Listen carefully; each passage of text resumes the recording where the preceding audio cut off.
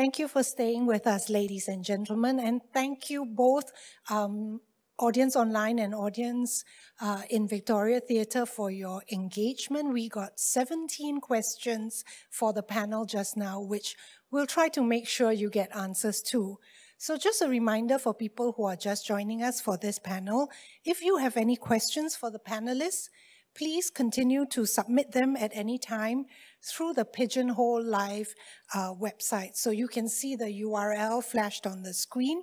It's um, www.pigeonhole.at and the passcode is ArtSimp 2021. So if you have a smartphone, a tablet, or a computer, please launch your internet browser and enter the URL and the passcode and select the panel for which you want to submit your questions. Um, there will be no intermission for this event, so we ask you to try to refrain from leaving your seat in the middle of the panel. Uh, there will be time after the event for you to uh, take your washroom break. Right, now, um, without further ado, I would like to welcome our next panelists, and they are moderator, Mr. Russell Storer, who, who has joined us in person, and Ms. June Yap. And we have Mr. Daniel Birnbaum dialing in from Sweden, and Mr. Takashi Kudo joining us from Japan. They'll be addressing the issue of art and the digital realm and considering the question of whether there is any turning back now that art and arts programming expansion has expanded into the digital sphere. Was this something that had simply been accelerated by the pandemic? Well, that's what our panelists will be exploring today. So over to you, Russell. Thank you. Thanks very much, Pauline, and uh, welcome everyone who's joining us this afternoon, both physically and online. It's a real pleasure to be hosting the discussion today with three very esteemed speakers. Uh, my name's Russell Storer. I'm the Director of Curatorial and Collections at National Gallery Singapore. And um, as Pauline mentioned, the discussion today is art in the digital realm. And of course, with the um, COVID pandemic, um, there's been a scramble to digitize um, and museums have had to you know, go online um, and that's posed a number of challenges, but of course a number of wonderful opportunities as well. So I'd like to thank uh, Plural Art Magazine and uh, National Arts Council for hosting this discussion today, which is of course very relevant to all of us. So first of all, I'll introduce all the speakers um, and then each will give a short presentation on their work with the digital. Um, there'll be a bit of time for discussion and then we'll open up to questions and of course you can post those onto the Pigeonhole app. Um, so our first speaker today um, is Takashi Kudo, um, who's the communications director for the Tokyo-based collective teamLab, um, who'll be familiar to many of us here in Singapore. Um, he manages their entire branding program. And established in 2001, teamLab comprises artists, programmers, engineers, CG animators, mathematicians, and architects. Using digital technologies, teamLab create immersive multimedia environments that navigate the confluence of art, science, technology, and the natural world. They've shown their work and been collected by museums around the world, including here in Singapore at the Singapore Art Museum, uh, National Gallery Singapore, and the Art Science Museum. Our second presenter is uh, Daniel Birnbaum, who's a Swedish art critic, theoretician, curator, and since 2019, the artistic director of Acute Art in London, which brings together renowned international artists, new media, and technology to produce and exhibit cutting-edge vis visual artworks in virtual reality, augmented reality, and mixed reality. Um, Daniel was formerly director of the Moderna Museet in Stockholm and uh, director of the Städelschule in Frankfurt, uh, one of Germany's leading art academies, as well as its gallery space, Porticus.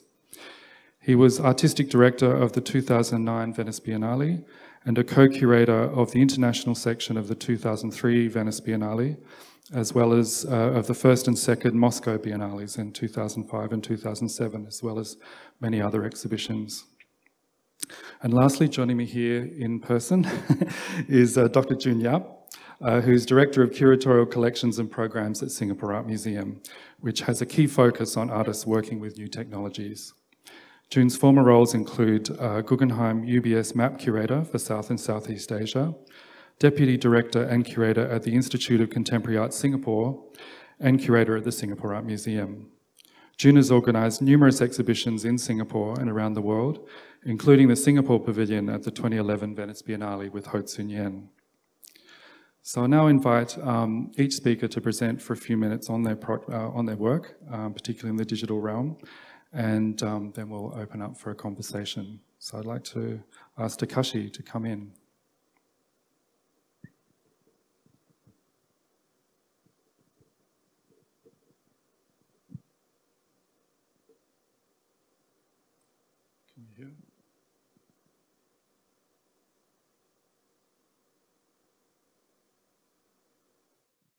Oh, uh, thank you so much to invite me and invite us for the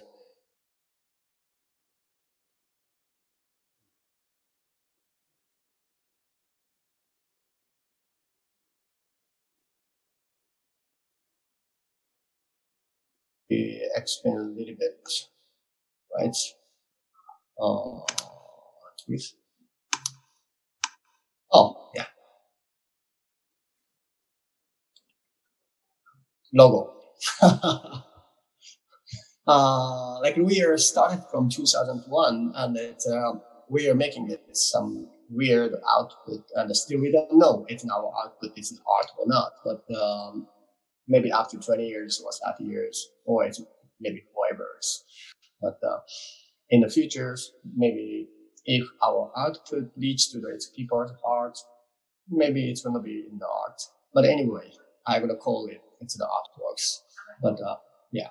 So what we have interest is um, we are like 600, 700 members. And as he said, it's we are quite many different specialists and it's create something on the uh, like CG animators and hardware engineers and architects and the mathematician and create something and it's making output and it's some of it's in our artworks and it's is uh, you can see it on Singapore's and it's they yeah some art by teamLabs and it's not so many times so it's uh one samples.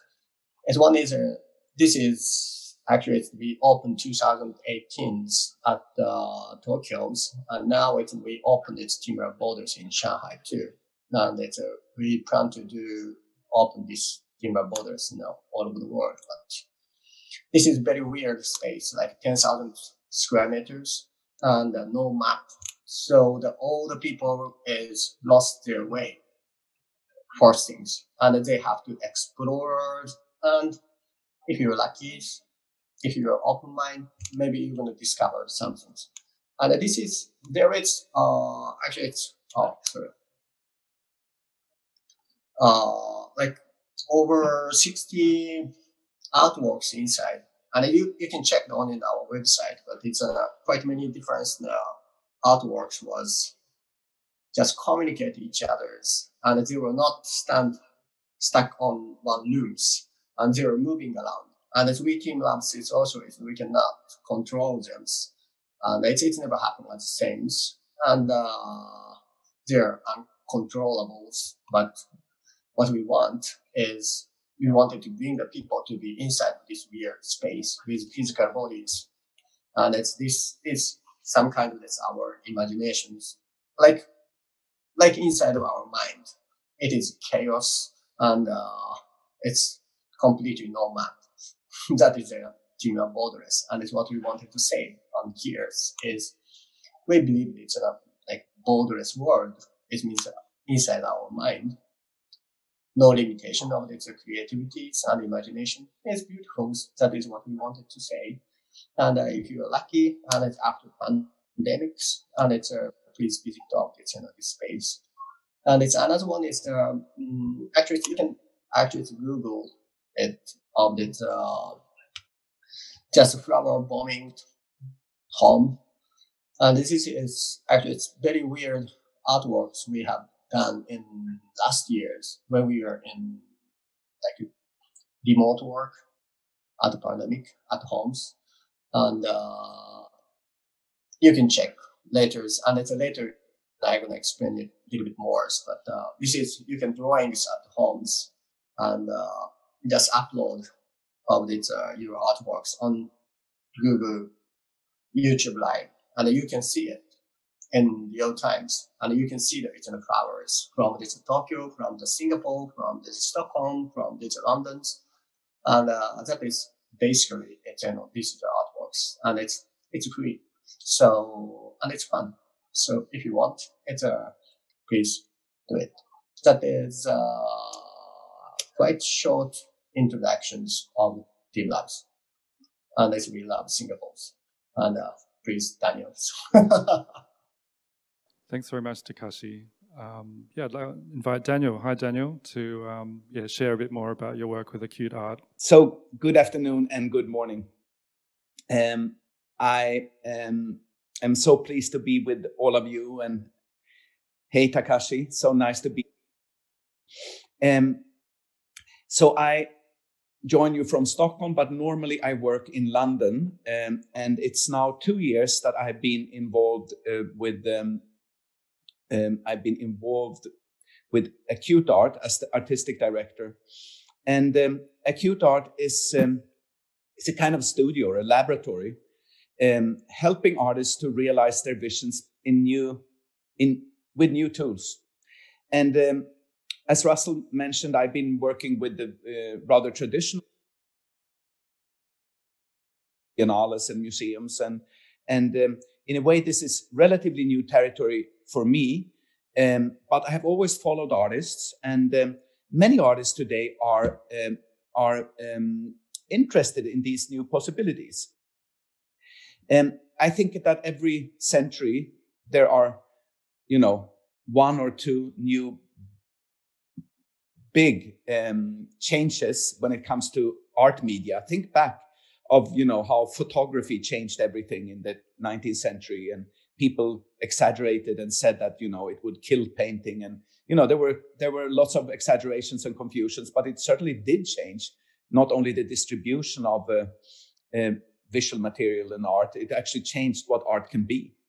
And in the 20th century, we had a few paradigm shifts.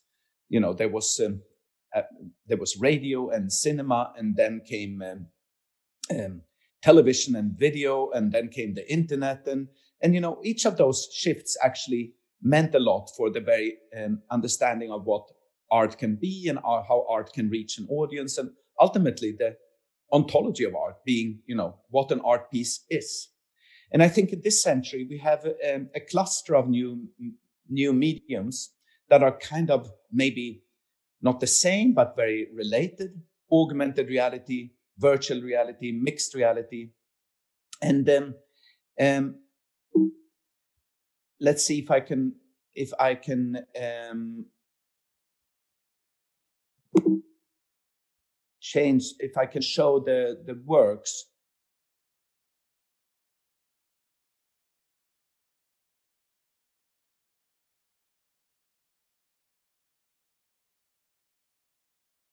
So a few um, years ago, uh, we uh, started to work with artists, and one of the very first artists we worked with was um, the American artist Jeff Koons, who is uh, primarily known as um, a sculptor, um, a painter also, and um, you know we we introduced him to the world of virtual reality, and actually here in Stockholm we launched the piece. it's a ballerina in a beautiful garden. And uh, one may wonder why someone like Jeff Koons, who's so well known uh, for other things, would be interested in these possibilities. Um, I mean, I do think that artists tend to be interested in, in, in novelties, so it's maybe not so surprising. And in Jeff's case, I think it's to do with his perfectionism.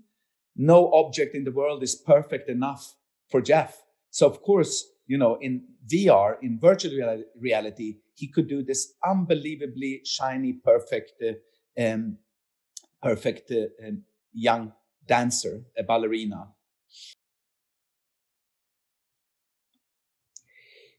at the same time, we approached Marina Abramovic, with whom we also did a virtual reality piece. It was launched um, in um, yeah a number of places at the same time.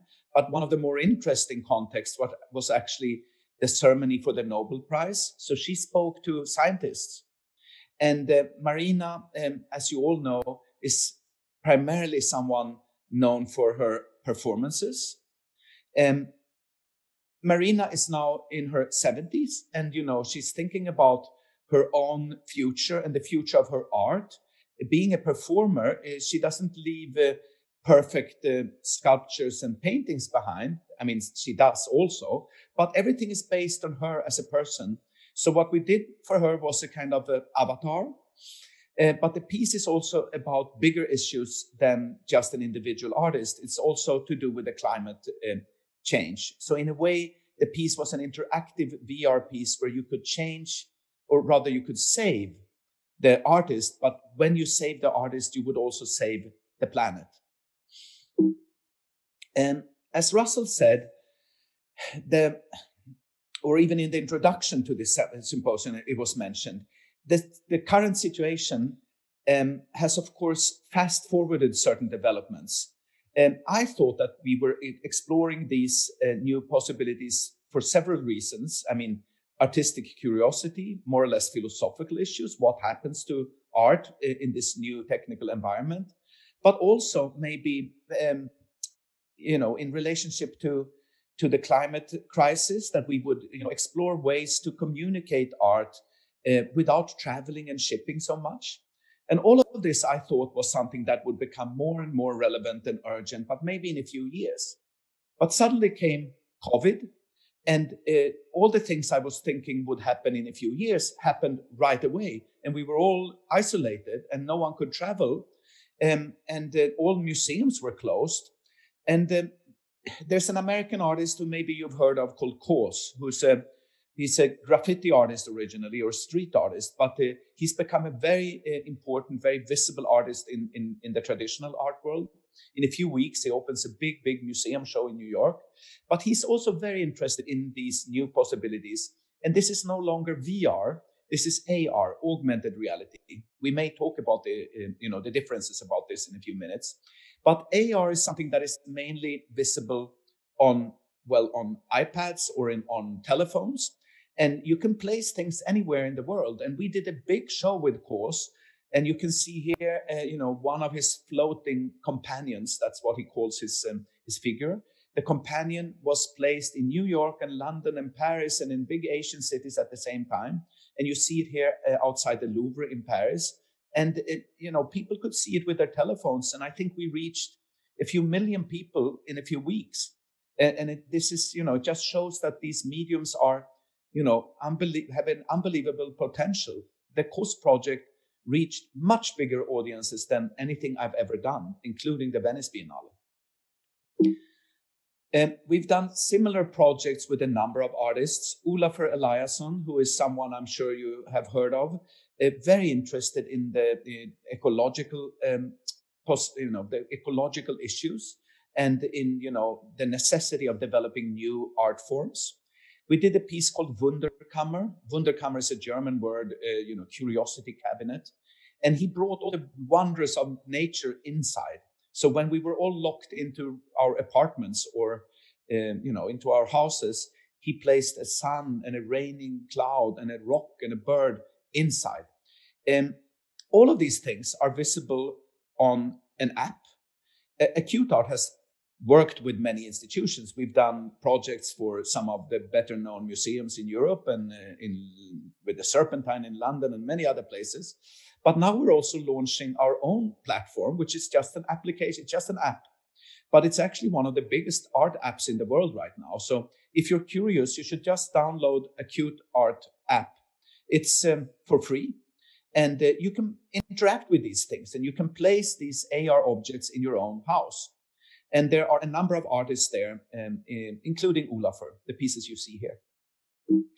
And Nina Chanel is an American artist, very interested in, you know, in, in, in these mediums as well. She is a politically very engaged artist, and, and she's been doing things that relate to Black Lives Matter. And um, she did a piece called Imaginary Friend.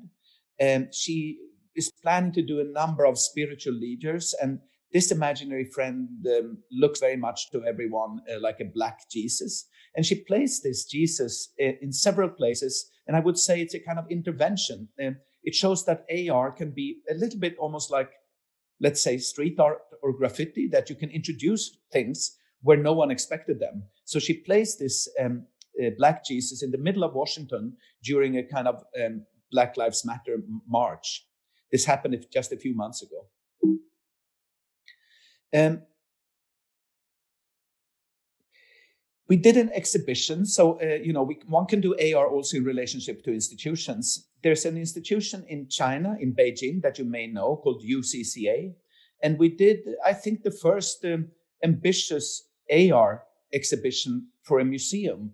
There have been other examples, but this was quite an ambitious group show. So there were pieces by Cao Fei from China, KAWS from the US, um, Olafur Eliasson from Europe.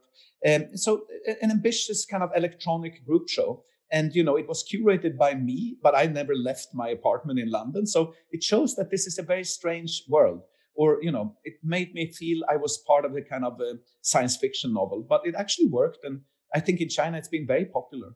And all these things are invisible, you know, if you just enter the space. But if you look at it through the phones uh, or the iPads, it's very visible. And uh, Phil Tinari, the, director of UCCA, told me it's been, you know, a very popular show in, spite of the fact that it's, you know, so, um, yeah, so surprising in many ways. A last example, um, uh, when all the museums in London were closed, and they are still closed, we staged a big group show called Unreal City, 35 AR objects along the river in, uh, in London. Um, you know, it was a prototype for future possibilities, I would say. We did this together with a magazine called Dazed. Dazed is a, you know, very, um, very popular magazine for, for uh, um, fashion and music and, and, and art and they have very large audiences. So we didn't need any kind of sponsors and we didn't need any institution. We just did it on our own and we placed these uh, a little bit like you all know Pokemon Go. This is a much more exact Pokemon Go. In Pokemon, you always had to look for the object, but we could place these, you know, in a very exact way. And some of the objects were enormous. So there were 10 artists from different parts of the world. And it was up for, yeah, until a few days ago. And uh, yeah, it's, it's an experiment, but I think we can do similar things basically in every city. So for me, this is interesting that, you know, I've spent most of my life in very classical art institutions, museums, and yeah, as I said, the Venice Biennale and such, such initiatives.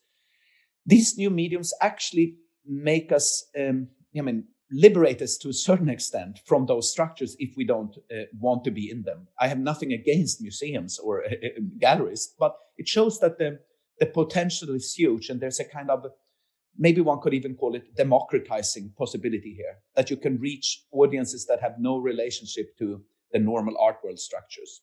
Um, that's one of the reasons why I find this very interesting the possibility to reach people everywhere. Yes, that was my presentation. Thank you so much. Thanks so much, Daniel. Um, and uh, June, your last. Hi, every Hi everyone. Uh, good afternoon here. It's afternoon here. Um, and thank you very much for inviting me to this symposium. Um, so, as uh, some of you may be aware, uh, the Singapore Art Museum's buildings are currently undergoing redevelopment. And uh, when we reopen, we are, uh, as Russell has mentioned, we are looking to have a greater focus on media and technologies in particular how they are embedded in the practices and ideas of contemporary artists, but also intrinsic in our contemporary life. My own interest in technology goes back uh, a little, and here uh, perhaps uh, Daniel's reference to science fiction, you know, uh, well, surfaces again. And in, in, in, relation to the, my own background as an art historian, um, my own interest goes back to the 1990s, um, developed through an interest in cyberpunk science fiction, uh, through authors such as William Gibson, known for his titles such as Neuromancer, Idoru, and of course Neal Stephenson's Snow Crash and The Diamond Age, uh, Bruce Sterling's Islands in the Net, and uh, Greg Egan's Permutation City, as well as the early editions of Wired magazine, which started in 1993.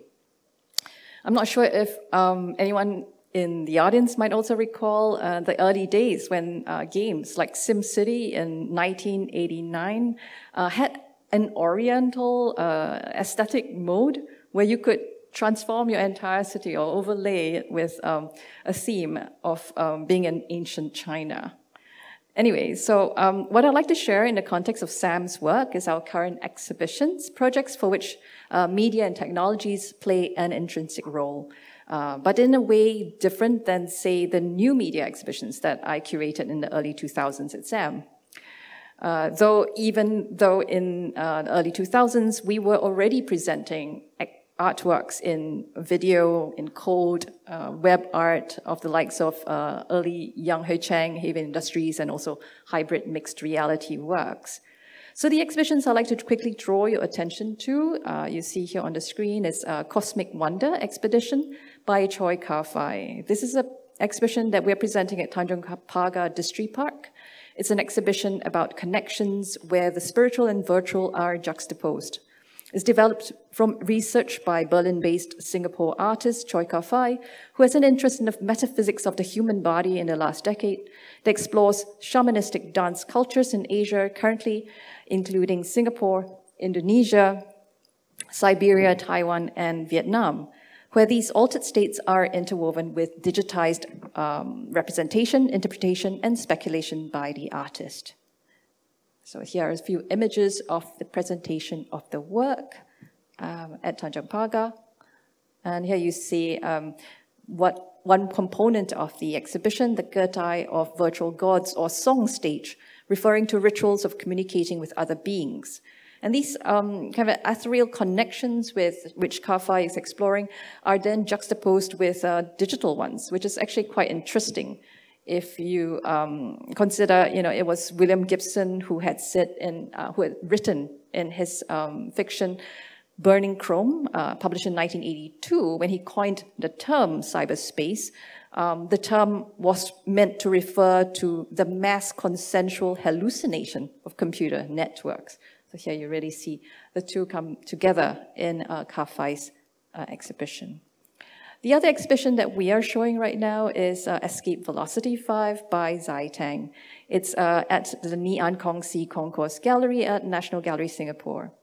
This is an immersive presentation where one is plunged into a soundscape where sound becomes the texture of the aesthetic experience. The work is based on Zai Tang's research using field recordings of wildlife and natural habitats in Singapore that, given our limited space, are also constantly under threat by urbanization. The experience is at once mediated for an intensified experience that speaks to ecological crisis, but also very familiar sounds, um, bird and insect calls, uh, which we, we do recognize still in our nature and environment, but we probably overlook. Uh, though maybe not for very long if urban development reduces, uh, keeps reducing their spaces. So this work, while technically mediated, prompts us to examine our relationship with nature as a city and as a species living alongside these other creatures. So I hope you have the chance to experience both exhibitions during this time, as well as their online programs. And here we have a little excerpt for you, um, which we'll just play for one minute.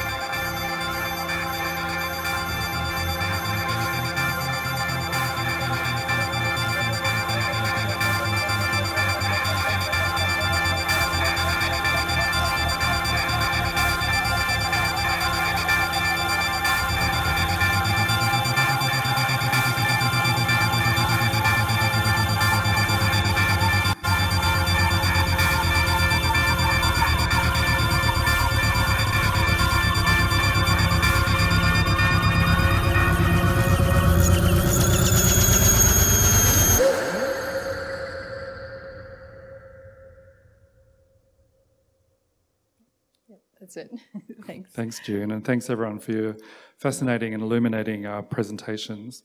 So we're already getting quite a lot of questions already.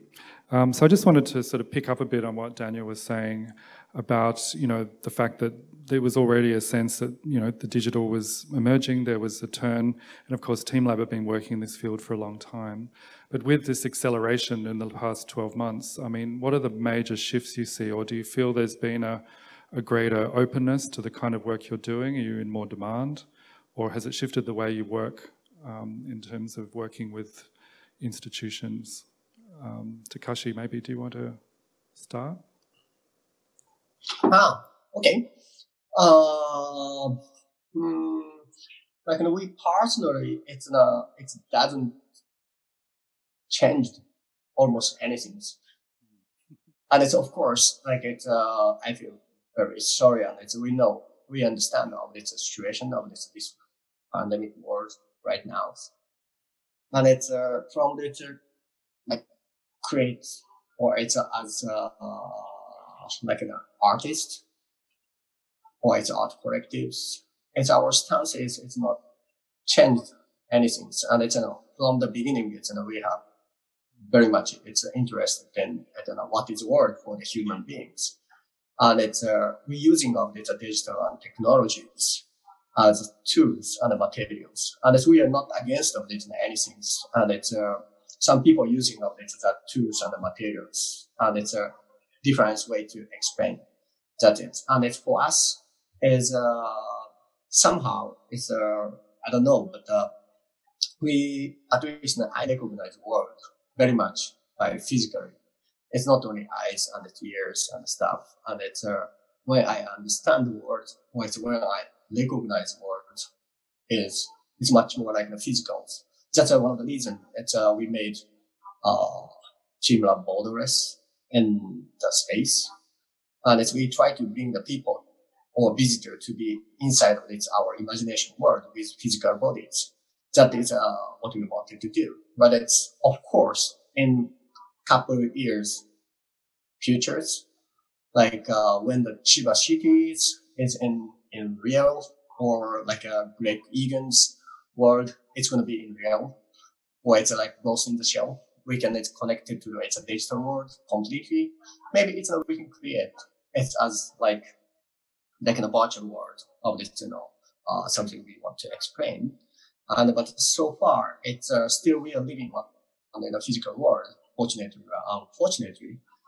And it's uh, in that case, it's uh, our work is like of course software and the codings. So like how to show our work is uh, we need a like a paint. The paint is for us is a light, and the canvas is everywhere. So it's sometimes we are creating on in uh, some museums or it's, sometimes it's in some very weird space like an arcade centers in Japan or like even in the natures. That is uh, what we do. And it's one thing is um, mm, I can say is like I very much it's a feel sorry about it's like this pandemic situation all over the world. But uh, one thing I can say is uh, it's gonna happen. It's, you know, like, that the most of the things is, it's gonna happen. It's, I mean, it's like, you know, ARs, VRs, or it's a digital ticket or whatever. It's these things is, uh, anyway, it's gonna happen in like five, six years. But now the situations, unfortunately, it's, and we cannot go out and it's, we cannot use like, uh, ticket paper ticket or it's, you know, meet up. It's a face to face and we try to avoid that. So like it's going to happen in 10 years, but it's just happened on now. It's became earlier than we expected. And it's, uh, I don't know, it's uh, quite many negative face and it's a like disaster like this. It's, uh, you know, like even me, sometimes I feel it's almost gave up for the everything. But uh, I'm not professors and I'm not like a super smart persons. So what I can do is we team up try to make the world a little bit more positives and happy. and it's uh, it's not give up for the futures. That is something know uh, our I we think it's you know, our roles, and um, it sounds like it's very stupid to say that, but you know, I want what we want, to keep on creating that this, this kind of stuff uh, in the future? and it's I just respect any kind of people to create something. So that is my answers. Thank you. Daniel, has it shifted the way you think about or approach the work you're doing, or it's just, you know, amplified? Yes. I mean, I would say I agree with Takashi that the development was kind of uh, obvious and there already, but it has, in many ways, um, fast forwarded developments that we thought that we, you know, that we trusted. Um, it's interesting how people actually think and talk about the pandemic as a kind of, um, let's say, a dress rehearsal for a bigger shift. That you know, um, uh, philosophers like uh, Bruno Latour or Noam Chomsky have said that this is a dress rehearsal for you know us getting ready for the big crisis, which is the climate, you know, the climate crisis. Um, and this was picked up by top politicians, at least in Europe, both Macron and um, in France and Merkel in Germany ha- has talked about it in, exactly in those terms. So in a way, you know, it, it, um, it the co- things working with these kinds of mediums, um, it's become much more visible. And I, and and you know, in a more superficial world, I, I can tell you that there's not a, one major fashion brand that has not contacted us, thinking that maybe we can help them to do something, since they cannot do anything. They cannot do the normal shows and catwalks and nothing physical is possible. And, you know, the entire art world, including the big galleries and the art fairs, they're trying to do things and they do it. You know, one can sell art uh, on, on the internet, as we know, with online viewing rooms. But uh, when they say that you, they've taken the programs virtual, it's normally very, very meager. And, and you know, we, you've all noticed this, that it's often just a homepage with some JPEGs. And people say that it's, you know, they've gone virtual which of course is not the case. So everyone is, um, you know, interested in these kinds of possibilities. I think it's early days, and and you know, Takashi knows a lot about this, and and and and there are other initiatives in the world. Um, and we are exploring these things with artists who are also known for other things. I mean, we do work with artists like Cao Fei, who's obsessed with the, the poetry of new visual, uh, you know, digital possibilities. But we also work, uh, as, as, as you saw in my little presentation, with artists who are used to the classical um, institutions and, and the gallery system and all of that. Mm, I guess all of this is um, changing and people kind of know it. And, and, uh, and uh, this is not the solution to everything to do an AR biennial instead of a biennial. And, um, and, but it's a possibility. And for us, of course, doing very heavy VR uh, works with world famous artists shown in uh, in places like the Serpentine or uh, or in um, museums or art fairs.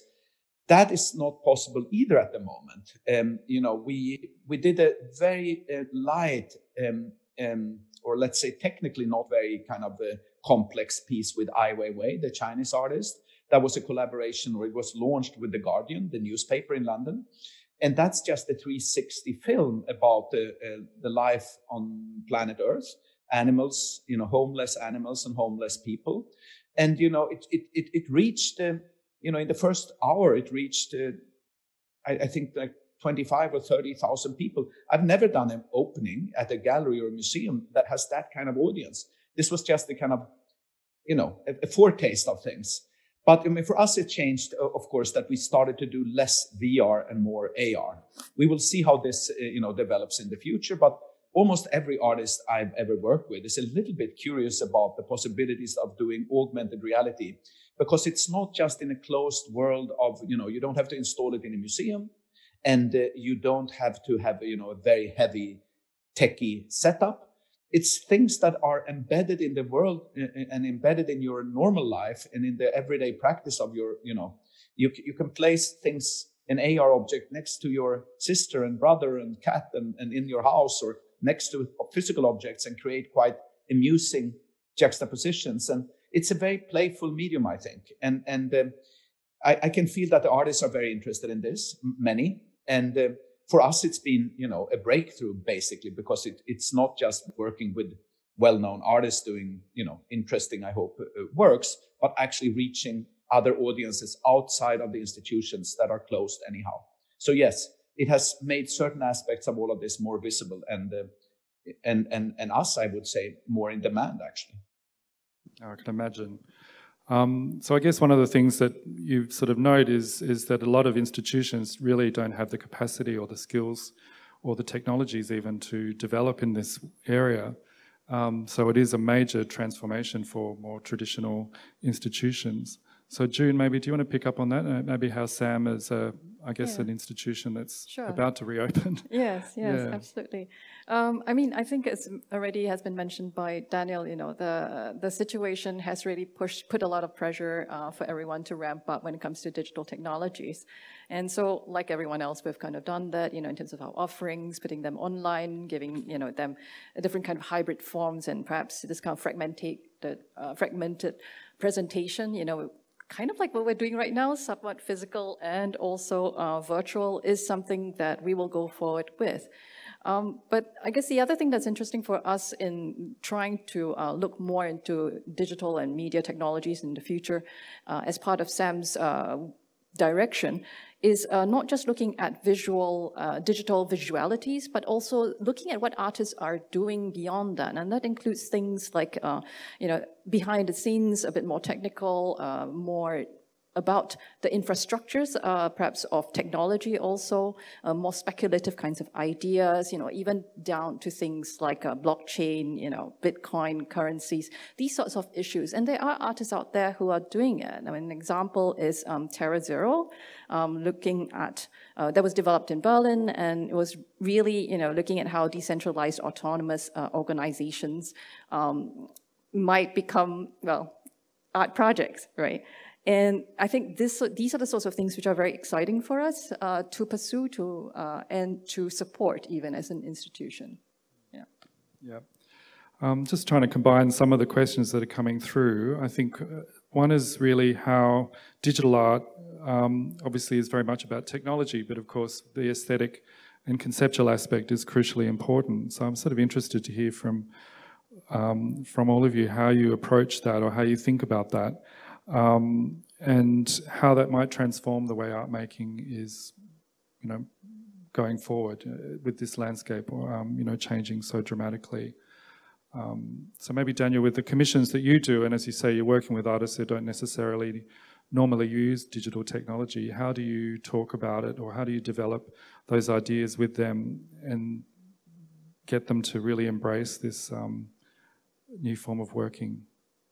Yeah, no, so in a way, we do both. I mean, we work with uh, a lot of younger artists and, and, artists who are very, very informed and very, you know, skillful when it comes to tech, uh, technical possibilities.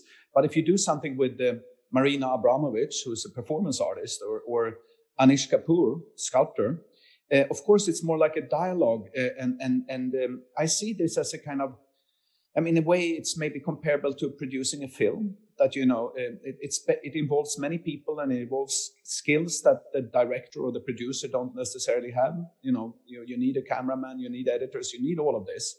And in a way, and um, you know, our vision is to, and I hope we're doing this, that we're realizing things um, that are of interest, but also with rather significant artists, and that you know we can realize things with them that they could not have done without you know access to this medium.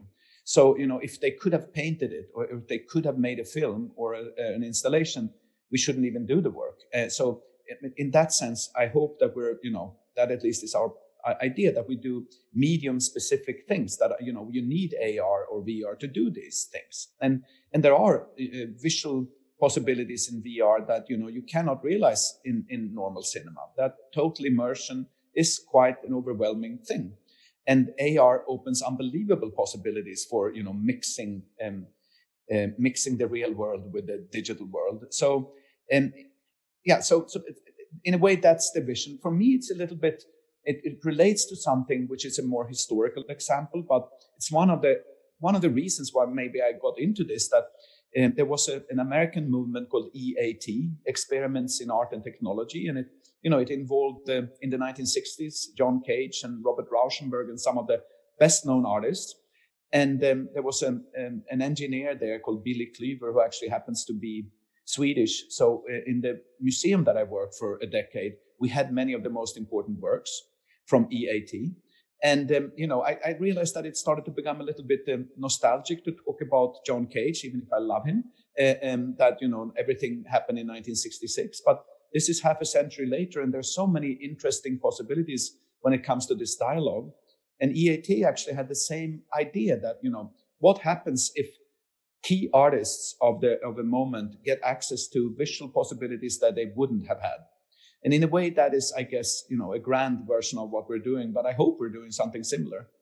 Uh, of course, in the future, there will be lots of artists, um, a little bit more comparable to what uh, teamLab works with and, and many and a few others that have a background maybe in gaming or in coding and, you know, digitally very skillful people. We're already working with some of them and, you know, doing things that are maybe they couldn't have done themselves just because they can code a little bit because of course people that we work with are experts in just that. But you know, I, I guess the, the the the skills of an artist will probably change a little bit in the future. I mean, not everyone. I don't think that this will eclipse the normal art world or remove the interest. You know, photography didn't kill painting, and neither did video or television. So, you know, painting and sculpture will survive. But this is a new possibility, a new layer, and and uh, you know, it, it introduces pretty fantastic new possibilities also of sharing things and distributing and, and you know, um, yeah, uh, uh, reaching audiences without anything being shipped and without anyone traveling, basically. Thank you. Um, well, I'm getting waved at to wrap things up. Sorry, it's very brief, but I think that ends on a very good note. I think it really encompasses a number of the key concerns and touches on a number of the questions that we've had about, you know, where things are going. So um, I think we can share the questions with the speakers and maybe get some responses. Um, so I'd just like to thank all our speakers. Um, it's the fastest panel I think I've ever been on. um, thank you so much, Takashi, uh, Daniel, and, and June for it's joining like us. A, it's a yeah. Zoom, literally a Zoom. Uh, it's a Zoom, Zoom. Sympos- uh, yeah. panel. yes, and thanks everyone for joining us today. Thank you. Thank you. Thank, Thank you. you. Thank you to Russell and June in Singapore and to Daniel and Takashi for joining us for this exciting discussion. Ladies and gentlemen, this takes us to the end of today's program. We, had, we hope you had a great time, regardless of whether you're here with us at Victoria Theatre or if you're tuning in remotely. For audience members at Victoria Theatre, kindly wait to be ushered out of your seats. Um, we will be flashing a slide now where you will see a URL and QR code for a survey uh, on your Singapore Art Week experience. Please go ahead and take that survey if you wish. Your participation in the survey also entitles you to participation in a lucky draw with some very attractive prizes. We hope to see you all again tomorrow. Many thanks and goodbye.